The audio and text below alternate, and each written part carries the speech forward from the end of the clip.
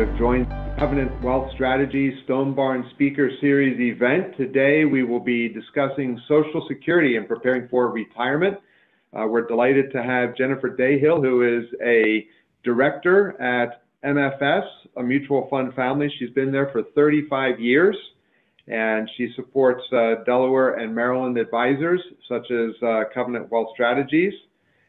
She supports and educates financial advisors on investment trends and products, and in her spare time enjoys racing sailboats on the Chesapeake Bay uh, near Annapolis. Jen's got two sons, and one's graduating from college in less than two weeks. So she is very excited about the empty nest scenario, which is imminent. So we're pleased to have Jen with us today. And we also have Tony Kozlowski, who is Jen's internal support. And you'll forgive me, I don't have all the uh, bio on Tony, but we're delighted to have Tony with us today as well. Our speaker today is Karen Ireland. And uh, I have to say, I spoke with Carolyn, Karen earlier this week and was just completely impressed. So Karen, Karen, I'm, I'm trying not to set the bar here too high, if you will, but um, Karen is a CFP. She's been in the industry for 20 years and um, is uh, works with MFS, uh, basically uh, providing support for financial advisors. She is exceptionally knowledgeable in areas of retirement planning and specifically Social Security. And in fact, she has written all of the material that we're going to be viewing today. Um, so uh, this is a uh, original presentation developed by Karen herself. Uh, during the winter time, she and her husband Matt enjoy skiing, and on their list of things to do is to ski at all the different Winter Olympic sites. So far, she's completed five of those. Um, she also enjoys skydiving, luge, bobsledding, and rappelling off of waterfalls, but not so much bungee jumping. So um, uh, she and her dad and brother are organic farmers in Minnesota, which is why Karen and Matt lo- live in a farming town an hour north of Boston in southern New Hampshire. So there's the lowdown on Karen. And uh, again, I just really enjoyed our conversation earlier this week. It was meant to be a technology checkout to make sure all the technology worked and everybody was on the same page and comfortable. But uh, we bantered back and forth for uh, quite a few moments uh, discussing different strategies and techniques and just really, really enjoyed our conversation, Karen. So without further ado, Karen, I'll ask you to go ahead and jump right into the presentation. We will, of course, be taking questions. So throughout Karen's presentation, please email any questions that you have to Michelle at covenantwealthstrategies.com and Michelle will assimilate those questions, and then we'll uh, do a little bit of Q&A uh, at the end of Karen's presentation. So Karen, it's all yours. Thank you. Thank you all for being here. And Michelle, my screen changed a little bit once we went into record mo mode. Can you see questions at, or for questions, email Michelle. Great. Thank you for confirming. So before we get into the formal agenda of Social Security, I'm sure the biggest question all of you have is Will Social Security actually be there throughout my lifetime? As long as you're 55 and older, I wouldn't worry about it. And I say that for a few reasons. Number one, if you look at the Social Security reports, or if you look at all of the options before Congress re- Social Security, and if you have trouble sleeping, pull them up, and I guarantee you, you will not have troubles falling back asleep. But if you look at all of those reports, all of them are protecting benefits for anyone who is 55 or older. When they talk about cutting benefits, they're talking about cutting benefits for people who are younger than 55 and not yet eligible for Social Security. And then finally, the realistic scenario we all know the biggest voting population it's the 55 and older population and if your benefits are cut I'm pretty sure you'll let your local representative representative know exactly how you feel about it. So with that, what we're going to do, we'll talk about how your own benefits are calculated. We'll explore options if anyone's ever been married, and then finally end with everyone's favorite topic, which is taxes. So with that, When it comes to Social Security, the most important thing to understand is this concept of the full retirement age. It's somewhere between ages 66 and 67. Take a look, figure out your full retirement age, and what you'll notice is that all Social Security calculations are based on this full retirement age. And the answer to any question you may have, which is, hey, I'm younger than full retirement age and want to do XYZ, answer is simply no. And that's because if you do anything before that full retirement age, your benefits are reduced or there's penalties. For example, your Social Security retirement benefits. So if I talk about retirement benefits, I'm not talking about your retirement assets, your 401ks. I'm talking about that benefit that Social Security gives you when you uh, start collecting based on your earnings history. You'll notice that retiring and claiming Social Security are two separate decisions. Now, you could take Social Security at 62, but it's reduced. After your full retirement age, you notice that grows by 8% per year until age 70. This happens automatically technically it's a monthly increase. So another way of thinking about this is every three months you get a 2% raise in your Social Security benefits. And that 8% growth, it's after tax and it's inflation adjusted.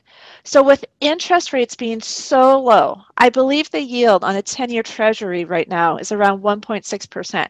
So with interest rates being so low, that 8% after tax, inflation adjusted growth becomes even more powerful, especially if you or your spouse expects to have a longer retirement.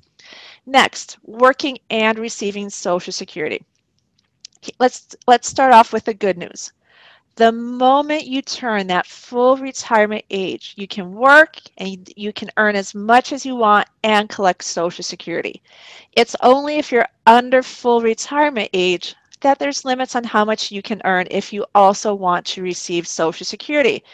Now, they only care about your wages after you start Social Security. So you can earn as much as you want before you claim Social Security. They only care after you claim. And they only care about your wages. So you can have as much money coming in from your pensions, your IRAs, your stock options, etc.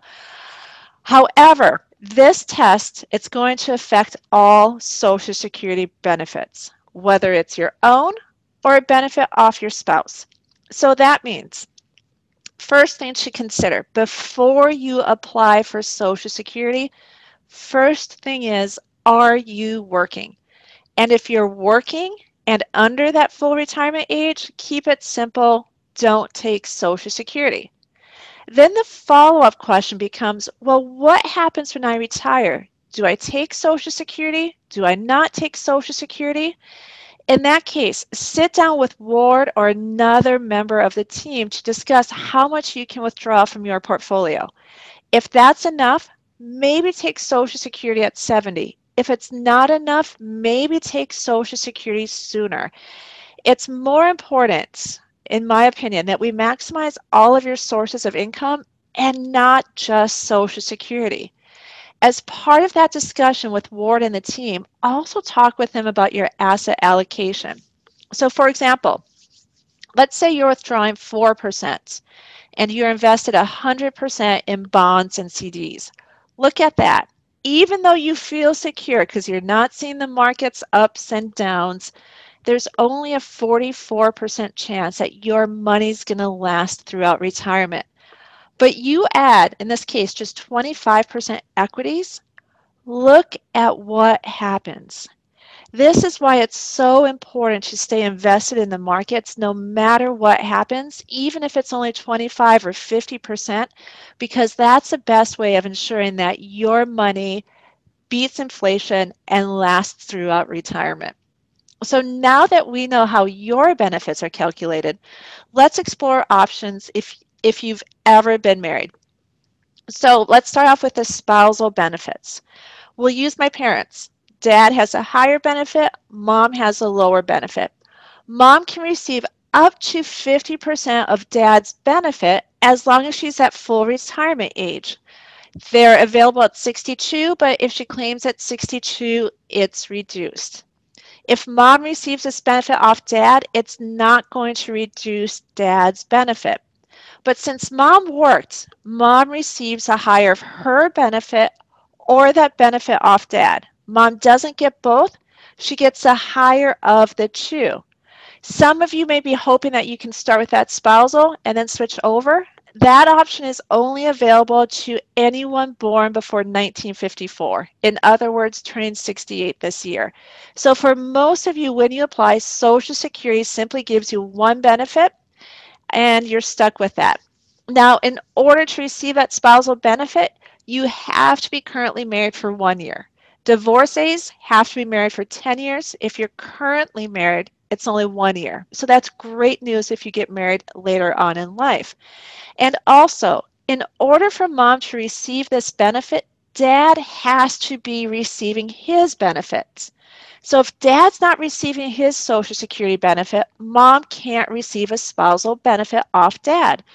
So the question may be the same that my mom had, which is, hey, I'm planning on retiring at 62. What do I get now? And then what happens when your dad applies? So here we have Alex, Blake, and Chris. And yes, it's A, B, C to hopefully make it easier to remember. They're all 62 and they all want to know what do I get now? And then what do I get when my spouse applies? So they're all retiring this year. So Alex applies at 62. Instead of receiving $1,000, which would have been Alex's benefit at their full retirement age of 66, Alex gets $750. Then, when Alex's spouse applies, Social Security compares that spousal benefit at guess what age? Their full retirement age against that retirement benefit at full retirement age. And remember, you only get a spousal benefit if it's higher than your own benefit. Since that's not the case, the amount does not change when Alex's spouse applies. Blake does the same thing, and when Blake's spouse applies, Social Security does that same comparison. And since that spousal benefit at that full retirement age is greater than that own retirement benefit, that difference of $200 is added on to your current benefits. So Blake doesn't go up to $1,200. Blake simply gets that difference added on to the current benefit. And then Chris, Chris was an active volunteer, and because Chris did not pay into Social Security, Chris's only option is to wait for their spouse to apply. And when Chris's spouse applies, because Chris is full retirement age, Chris gets that maximum benefit. So the point being, first off, if you're married, figure out if you are an Alex, a Blake, or a Chris. And the morals under Chris, you will only get that maximum 50% if you are full retirement age or older when you first claim that benefit. Under Blake, if your own benefit is reduced because you claim before full retirement age, that total amount you receive after your spouse applies is also reduced. And under Alex, if your own benefit is greater than that spousal benefit, you will never ever receive a spousal benefit regardless of when you or your spouse applies. So now let's talk about what happens after that first spouse passes away. So the maximum spousal, it's 50% while your spouse is alive, but 100% or up to 100% after your spouse passes away. So after the first spouse passes away, Social Security compares your benefit versus what your spouse was receiving, and you get the higher of the two benefits.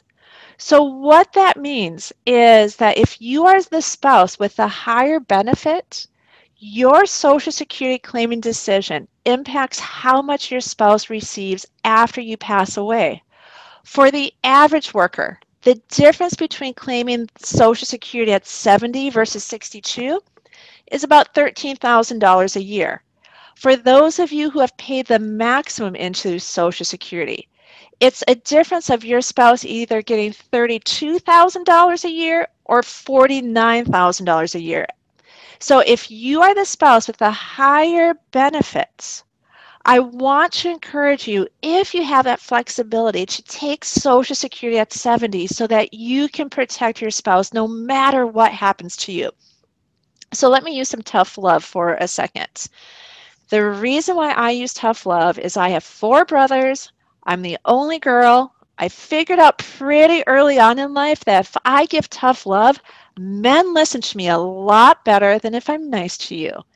And you'll also notice my goal is to ensure that no matter what happens, women have as much com- money coming in no matter how long they live. So here's a tough love.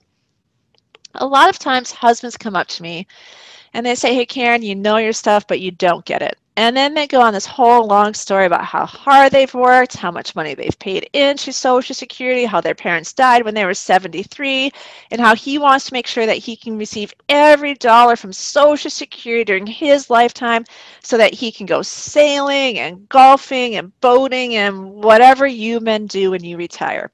And the whole time, all I'm hearing is me. If you are the spouse with the higher benefits, let's change the conversation from how do we maximize my benefit to how do we maximize our benefit.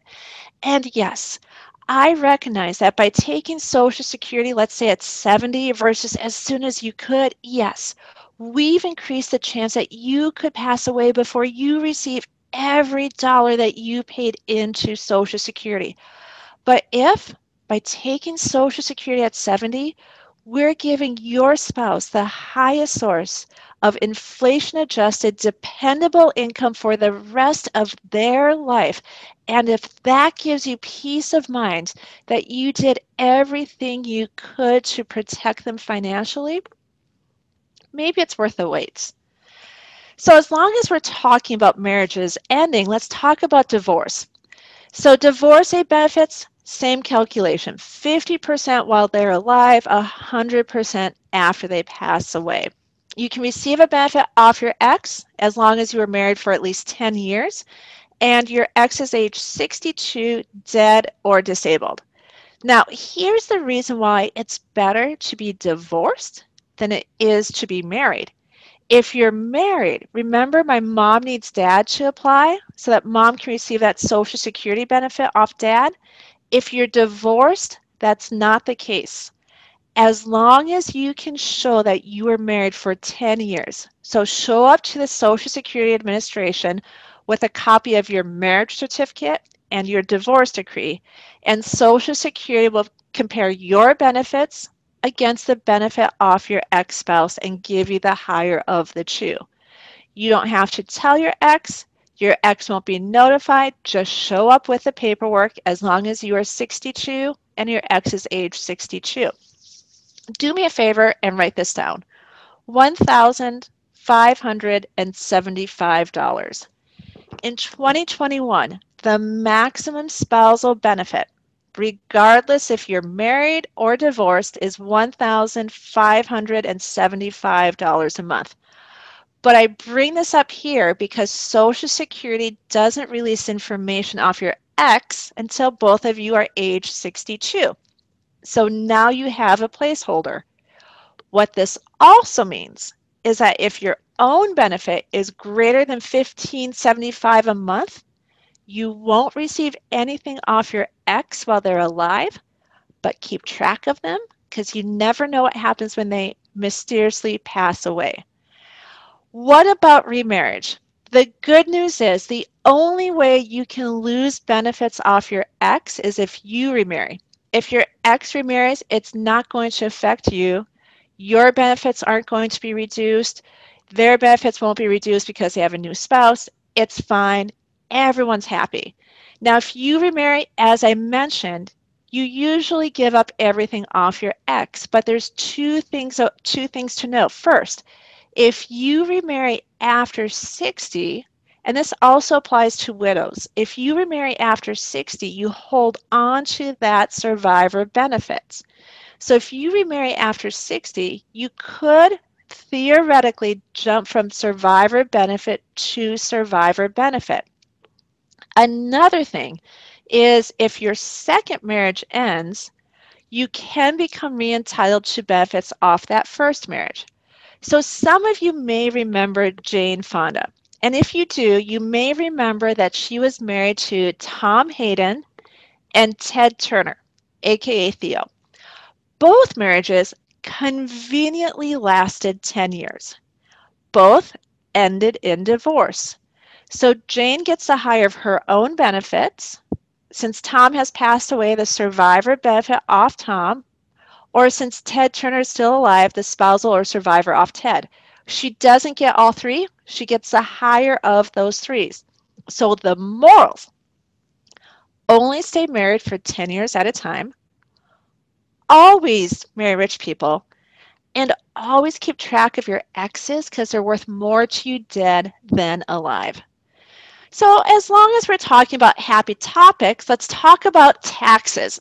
So, as many of you may know, once you start receiving Social Security, those benefits may get added onto your income and may become taxable if your income exceeds 25,000 if you're single or 32,000 if you're married filing jointly. But the IRS uses this interesting formula called combined income to determine how much of your Social Security benefits are taxable. So this includes your AGI. So that's your pensions, your IRAs, basically everything, plus tax exempt income. So muni bond income is included in this calculation, even though it's excluded from federal taxation but only half of your Social Security benefits are included in this calculation.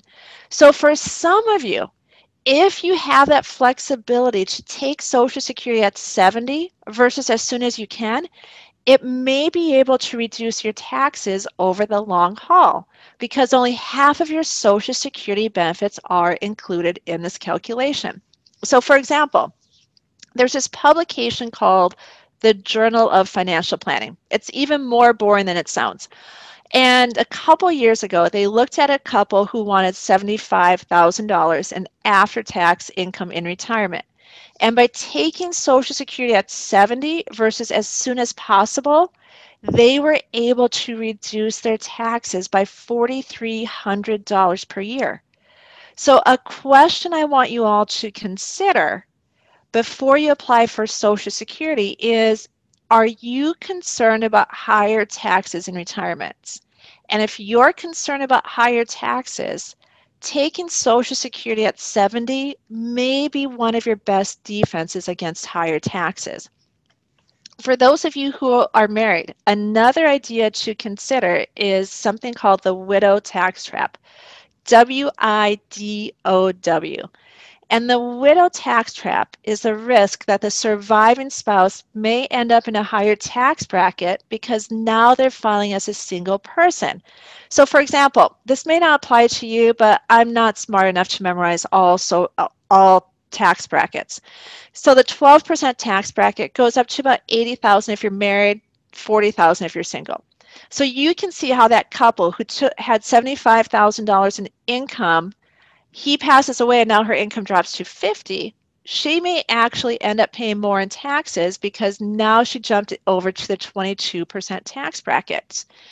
I bring this up here because psychologically, the last thing people want to touch when they go into retirement is their IRAs, your 401ks, your own personal assets.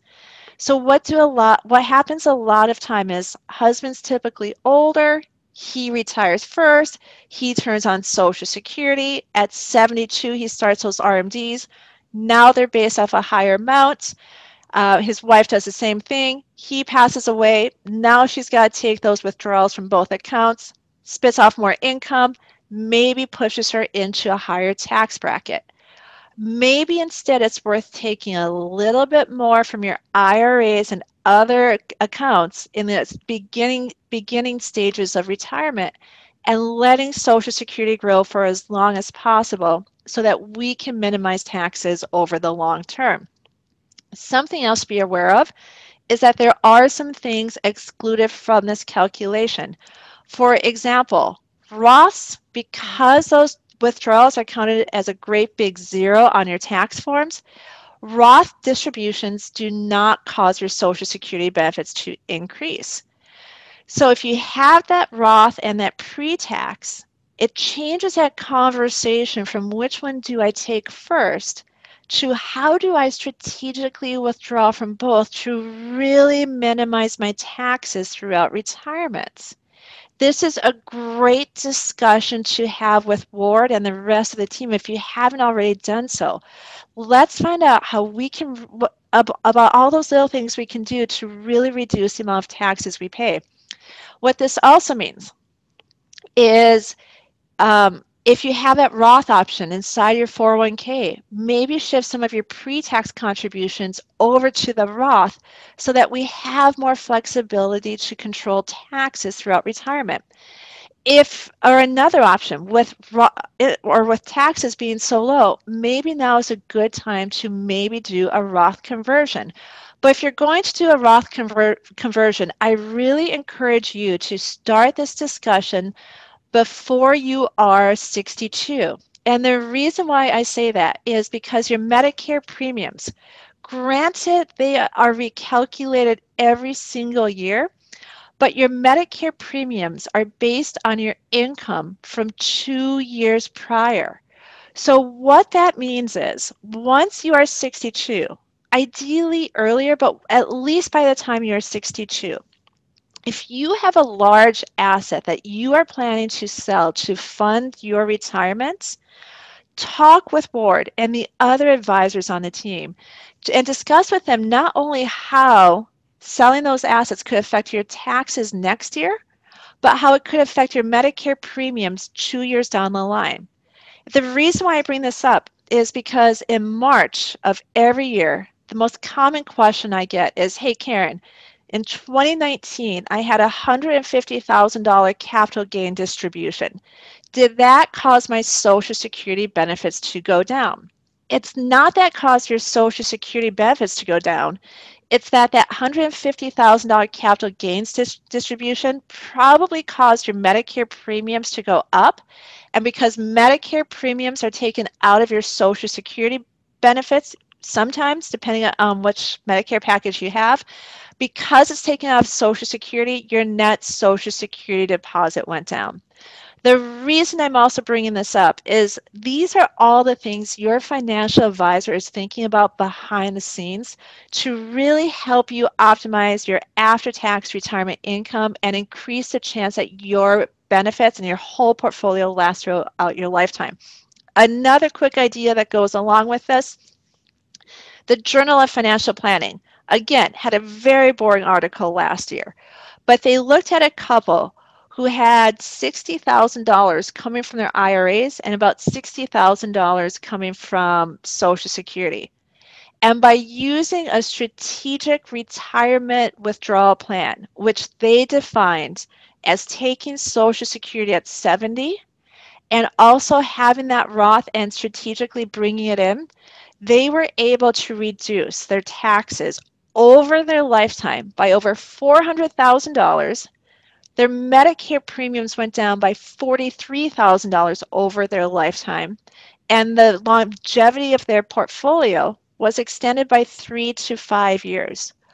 Point being, there's a lot of little things we can do to help improve your retirement income and reduce your taxes, but it begins by having that discussion before you get into retirement and doing all these little small strategic changes that can really pay off and make a difference, especially if you expect to have a longer retirement.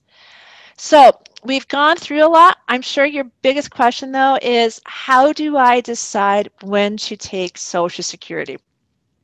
A lot of information, but I really think it comes down to four simple questions. Number one, are you working? If you're working and under your full retirement age, let's just keep it simple. Do not take Social Security.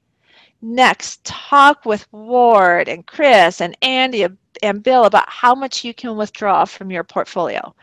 If you can live off that, maybe take Social Security at 70. If it's not enough, maybe take sooner rather than later. As for your life expectancy and that break even age, only a factor if you're single. If you're single and you think you're going to live forever, take at 70. If you're not quite sure, take whenever you want. But if you're married, I don't like looking at break even calculations. I don't look like looking at your individual life expectancy. I don't care about how long your parents lived. And the reason why I say that is because there's a 50% chance one of you is going to live until age 90. So for that reason, that really cool Excel spreadsheet, I don't want to say it goes out the window, but maybe extend the ages a little bit longer. So if you're married and both of you worked and both of you paid into Social Security, here's how it goes. The spouse with the lower benefits has more flexibility as to when to take Social Security. If you're 62 and you're retired and you have the lower benefit and you want to take Social Security, I'm not going to stop you. If you're 66 and you're done working and you have the lower benefit or you're still working and you want to turn it on, I'm not going to stop you because you have the lower benefits, eh, you'll switch over to that survivor benefit. So your benefit, your Social Security, is a benefit that takes any pressure off the portfolio. What I'm seeing a lot of people do right now is if you have the lower benefit, because the markets are doing so well, they're holding off on it so that when the market or if the market ever has a little dip or recovery, they'll turn it back on, they'll turn Social Security on then to take the pressure off the portfolio. But if you are the spouse with a higher benefit, I want to encourage you to optimize your benefit as much as possible so that we can not only maximize yours, but we'll maximize the survivor benefit, which maximizes the benefit over both lifetimes. So here's the re reality. There's a lot of information about Social Security. And my goal is to help everyone and give as much information as possible that helps as many people as possible. But everyone's situation is different. And what worked for your colleague, your brother, your cousin, your best friend may not be the right decision for you because you have your own goals, your own income needs, your own assets. And that's why we really encourage everyone before you claim Social Security, Sit down with Ward, Chris, Andy, or Bill. Explore your options. Explore how that decision impacts your withdrawal rates, how that affects your asset allocation, how it affects your taxes, and everything else we have discussed today. So, with that, Ward, I will turn it back to you.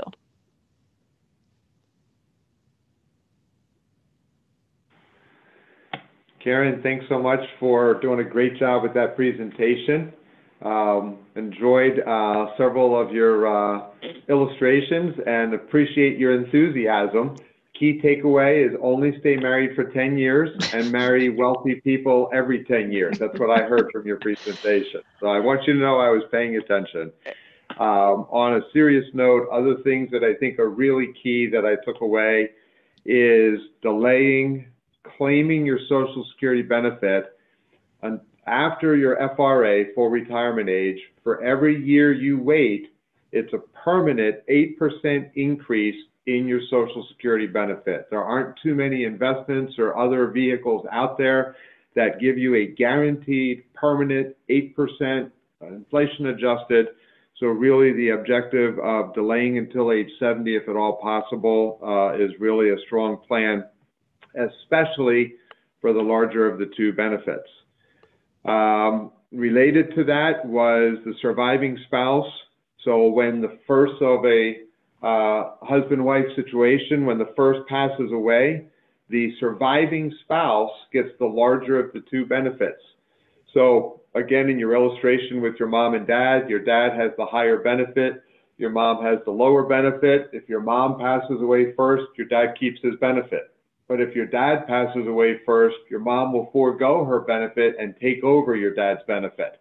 So that's what we mean that the surviving spouse gets the higher of the two benefits. And that again speaks to the importance of maximizing that larger benefit, which means waiting as long as possible until age 70 to uh, take that benefit.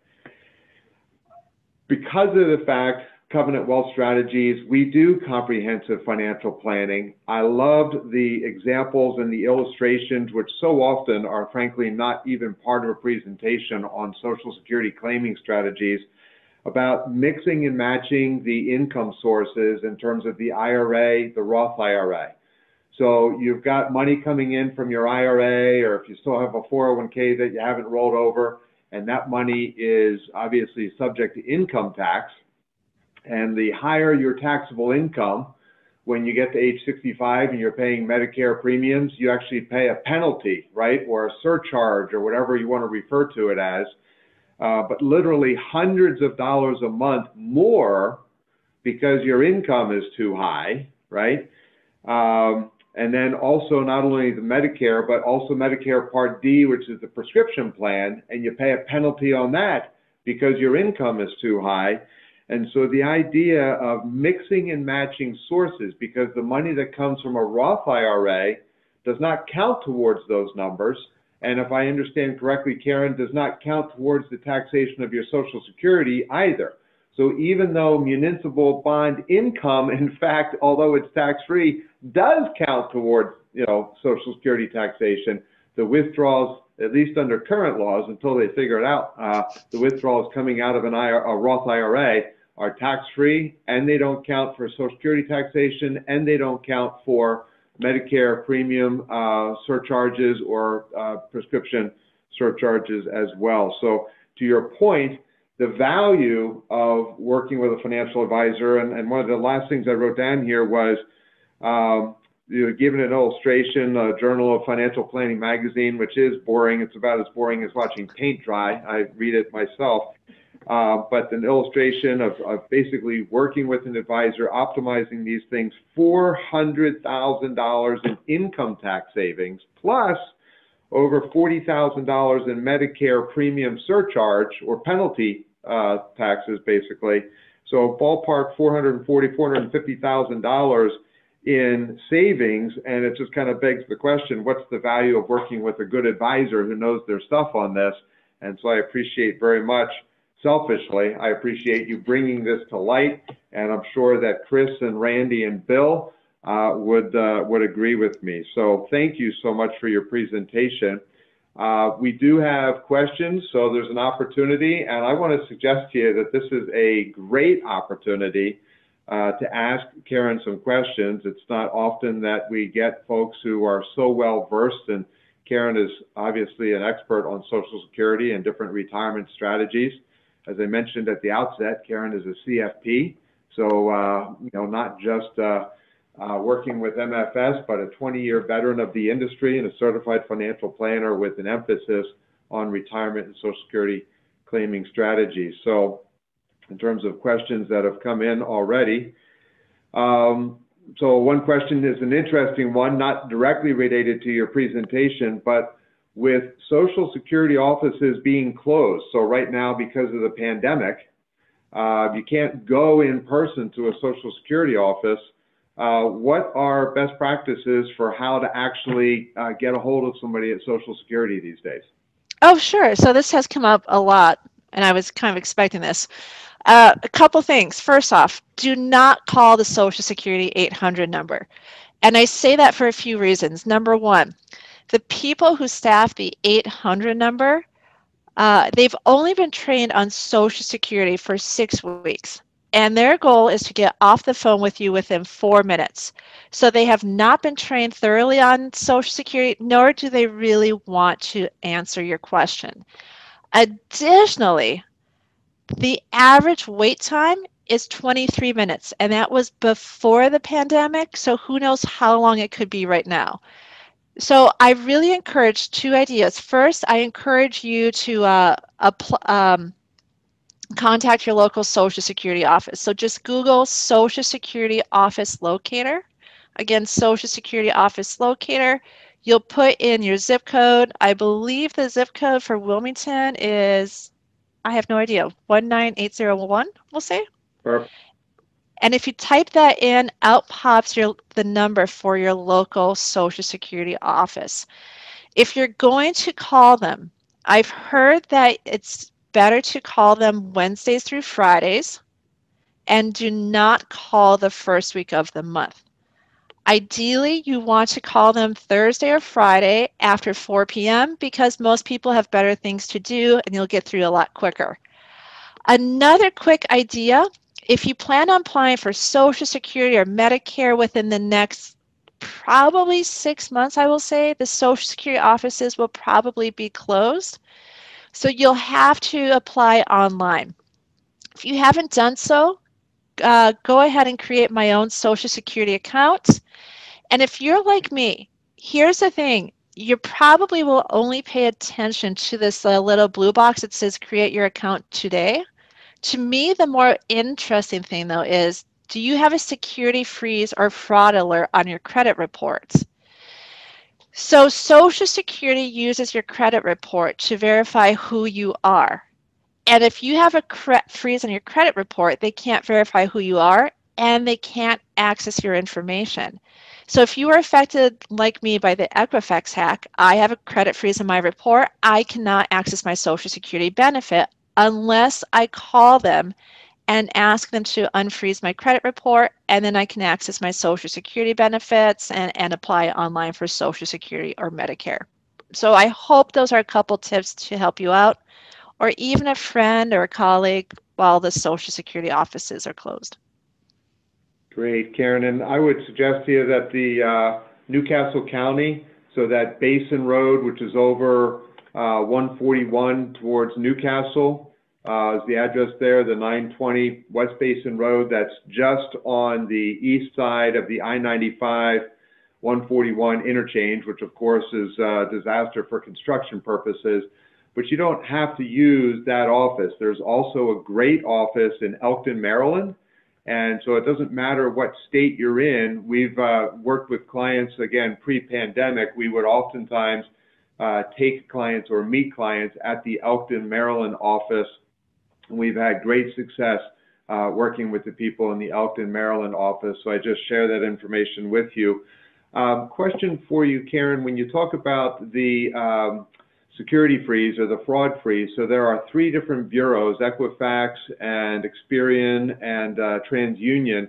Do you know which, is it, is it any one of those or there's three different ones? So how, how would that work? It's funny you say that. So as I understand it, it's all three. But since okay. you asked, I'm going to share this with you. I don't know if I can, let me see if I can maximize this. So you're the first one to ever um, ask this. So speaking of the Equifax hack, look at this. Equifax is the identity services provider that Social Security uses. I have no comments. So not the fact that, I mean, so if I had a, a, a freeze on Experian or TransUnion, that doesn't necessarily prevent Social Security from validating me. I only need to be concerned with Equifax. I don't know. But if you do well, have it frozen with Equifax, definitely you can't access it. Okay, it looks like what you just put up there is that they said that Equifax is who Social Security uses to verify your identity. Mm-hmm. So it seemed to indicate uh, that that's the case. The other thing that if you could speak to for just a moment, Karen, is this idea of create your account today. And the reason I bring that up to you is I have done some reading. I have heard of situations where fraudsters basically go in and set up a social security account on behalf of Karen, right? So if I'm a fraudster and I go in, I set up a social security account on behalf of Karen, and then when Karen goes to create her account today, she's locked out of her own account because a fraudster has already. Can you speak to that a little bit and just maybe the idea that is it a good idea for everybody, regardless of their age or their plans to file, that they should in fact go to ssa.gov and set up their Social Security account to prevent a fraudster from blocking them. I've definitely heard of it happening, and which is why Social Security recommends to everyone set it up as soon as you can so that no one else sets it up for you. It's a real concern. It's amazing if we could take all this energy and put it into good things like finding a cure for cancer, we'd probably, uh, you know, we'd probably be all, already be there.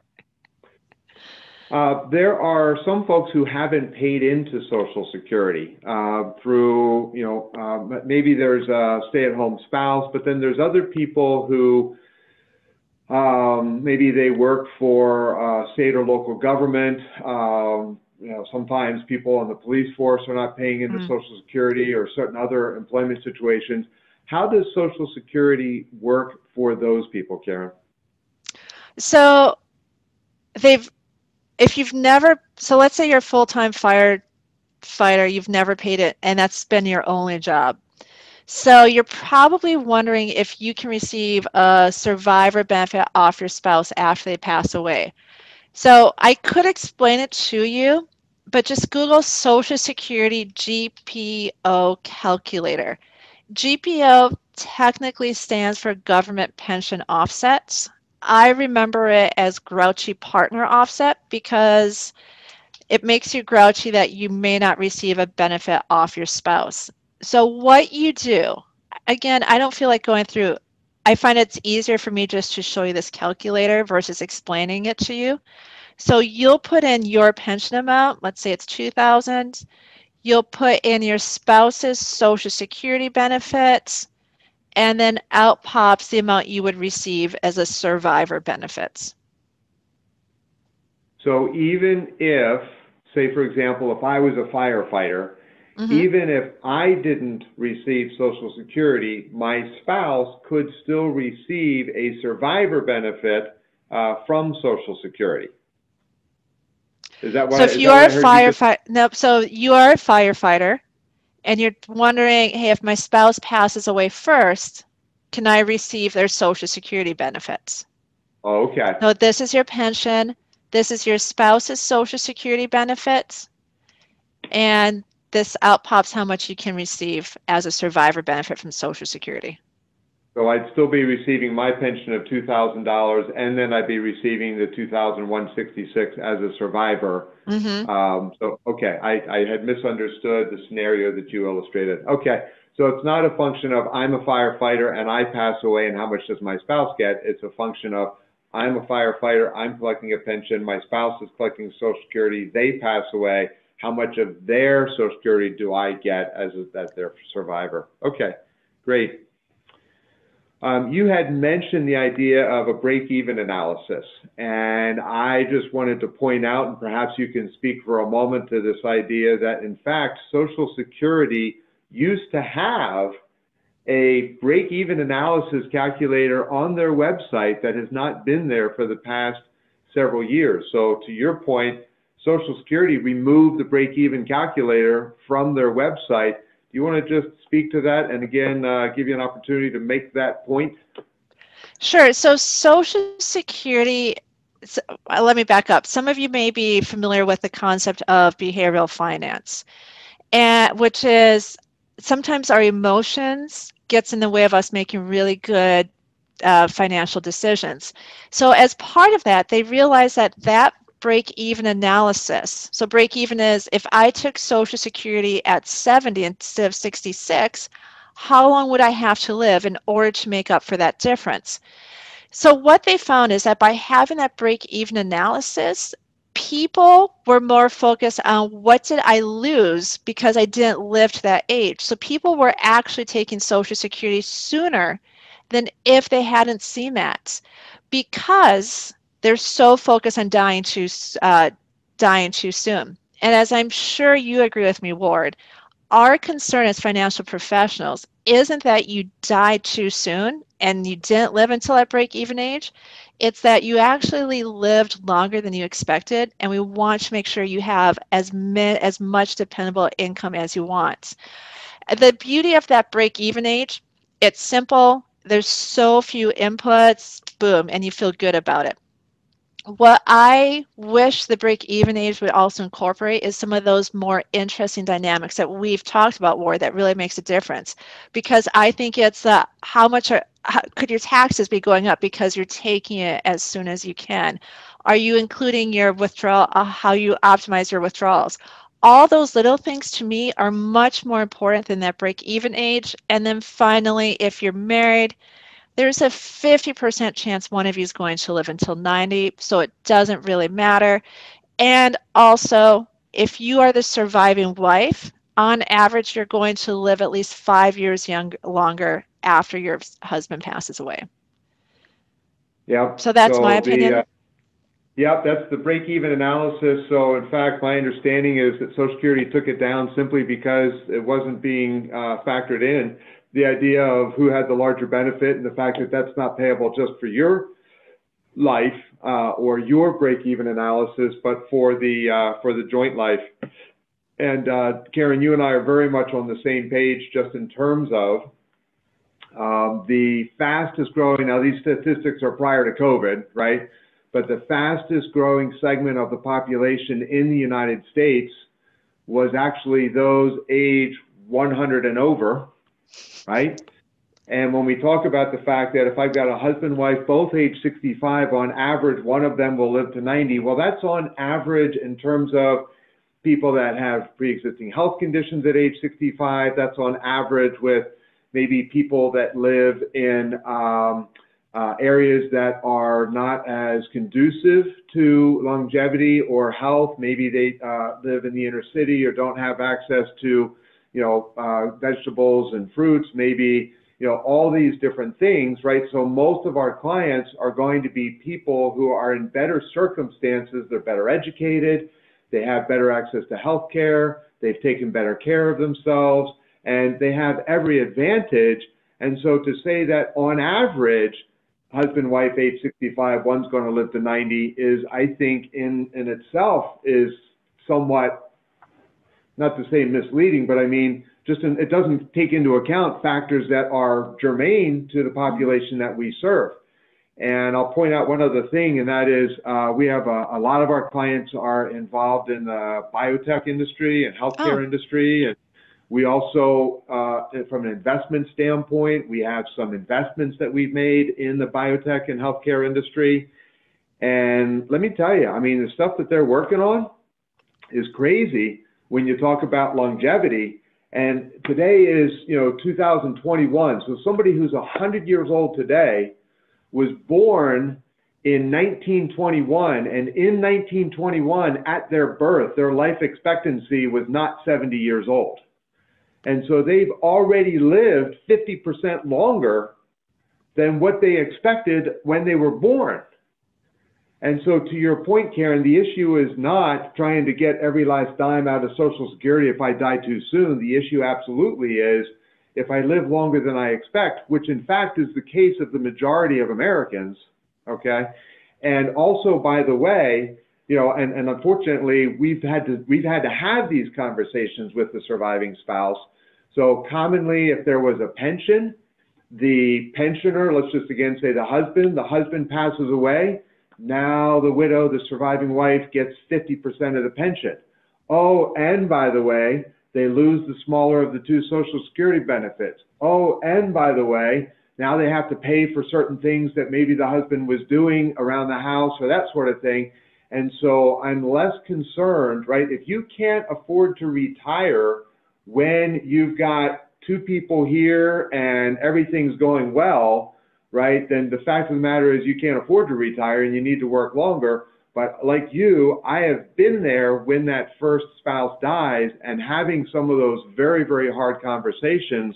And it's heartbreaking, you know, to sit with a typically a widow and and talk about what they can and cannot do going forward and how they thought everything was good and then he passed away and all of a sudden not only they dealing with the grief of the loss of a loved one, but now they're finding out economically things aren't perhaps uh, they're not as well prepared as they as they had understood they were to be. So I'm with you 100%, trying to maximize the experience of the survivor and not leave them stranded.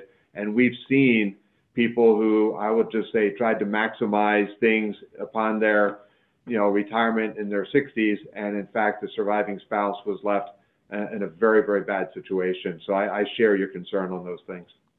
I can't imagine that. Just the emotional transition along with the financial transition, that's a lot for a widow to take in. Yep. Yeah. And we've worked with, I mean, we've worked with a number of widows and, you know, they talk about for the first year, I mean, the first time around the calendar, right? The first Mother's Day, the first birthday, the first Christmas, the first, all these different firsts it's just a mental fog. Like they can't even, they, they don't, after it's over, I think it's like a PS, you know, PTSD kind of thing in terms of just the, the trauma. Um, and so just layering in uh, financial, you know, hardship is it's a very very difficult situation. And it's interesting too. I would tell you that, you know, working with financial advisors and, and working with people like uh, Jennifer um, and other uh, per se representatives from different companies, you know, they tell me flat out that a lot of times they see the products that uh, that their clients are buying, and there's absolutely no provision whatsoever made for the spouse. So that's one of the things when we work with a client, financial planning client, the husband and wife are our client, and we have very frank conversations with both of them present, not only about optimizing their social security and tax planning strategies, but even about pension claiming strategies and what the conversation is going to be like with their surviving spouse, depending upon the decisions that they make with their pension claiming strategies. So, good stuff. Uh, Michelle, anything that's come through on your side? I think that is all the questions we've received. Okay, let me see here if we have anything else that we want to cover. Oh, uh, the topic of HSAs. Can you speak a little bit to the topic of HSAs and uh, Social Security and Medicare? Sure. So for HSAs, uh, if you have an HSA, ask yourself how important it really is to make those contributions to the HSAs. And the reason that's a good question to discuss with Ward and everyone else is because if you're receiving Social Security and you're 65 and older, you cannot refuse Medicare Part A. Medicare Part A is free, it covers your hospitals. And because you're receiving Medicare Part A, you are no longer in a high deductible plan. And because of that, you can no longer make contributions to your HSA. So if you want to continue to make contributions to your health savings account, don't take Social Security if you're 65 and older, because if you're receiving Social Security, you can no longer make contributions to your health savings accounts. Um, and is it true that you can use the HSA money to help cover expenses in retirement, including, for example, the premiums on a Medicare supplement policy, and you can pull those monies out tax-free from your HSA to cover those costs? I would double check with a Medicare specialist. As I understand, HSAs can be used for Medicare um, Medicare Advantage, but not Medigap. But I could be wrong on that.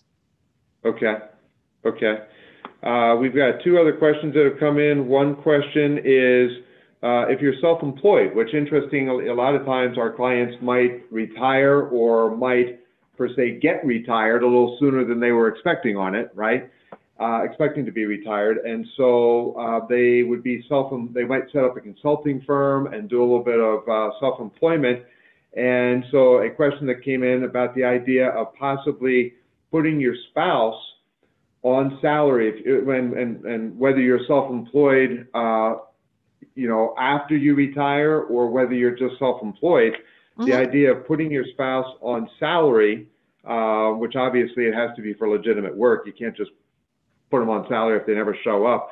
But uh, the idea of doing that uh, in terms of trying to get them a higher social security benefit based on their wages. So if you could speak to that for a moment so it's very unique to everyone's situation. So a helpful little tool I would use is this Social Security Retirement Estimator. So you'll click on this link and then you'll click on estimate your Social Security benefit. You'll put in some basic information about yourself, out pops your current benefit. Uh, so what you can do is put in some what you think you want to pay your spouse and then compare that number against two things. Number one, compare it to that spousal benefit off you. And if it's lower than that spousal benefit off you, maybe it's not worth paying your spouse additional money because now you have to pay all those FICA taxes, those payroll taxes, so maybe it's not worth it. Another way of looking at it is also consult with your CPA to understand how those additional, that additional Social Security benefit you may receive, how much more you have to pay in taxes. Another way I've seen this tool used is if you're thinking of retiring sooner than that full retirement age, go to this, put in your um, stuff, out pops your current benefit, and then if put in zero for the years when you're thinking of retiring or transitioning to consulting work, out pops your new Social Security estimated benefit as well. Great. So again, the uh, SSA.gov is a great tool. You should go set up your own identity, uh, and then you can use it to get your most recent statement, as well as to doing some uh, planning and projection. We've got one other question that came in, um, and that is on the topic of remarrying. So somebody's in their 60s and um, they're divorced and they're thinking about whether or not they should get remarried. Um, is there a relatively simple or easy way, Karen? I know you touched on this a little bit during your presentation, but how should we determine financially whether it's a good idea for them to get remarried or, or uh, stay stay single? So if you're getting remarried, um, let me see. We can send you. I'll have Jen send you this. So we have this nice little divorce and remarriage decision tree that may help you out. The if you're getting remarried at an older age, uh, the best, the one thing you may want to consider is getting remarried after 60. So that if you get remarried after 60, you get to hold on to that survivor benefit off your current spouse, off your former spouse. Now, if you remarry after 60, um, that spousal benefit may change, but keep in mind that maximum spousal benefit is 1575 a month. So right. I would say for most people, it may not be a big difference, uh, but that's the only thing that could change if you remarry after 60, whether or not you get 1575 or something smaller. And in this particular instance, if the person asking the question was the primary breadwinner previously, their own benefit's going to be significantly greater than 1575. So it would not be to their disadvantage economically to remarry. It may be to the person that they would be marrying. So they, that, that person would need to ask the question. But in terms of the primary breadwinner whose Social Security benefits over 1575, economically not a problem. I'll add one caveat that I heard years ago in a Social Security presentation that I thought was kind of funny is, you know, if it's very important to you to be re- to be married, uh, go to Canada.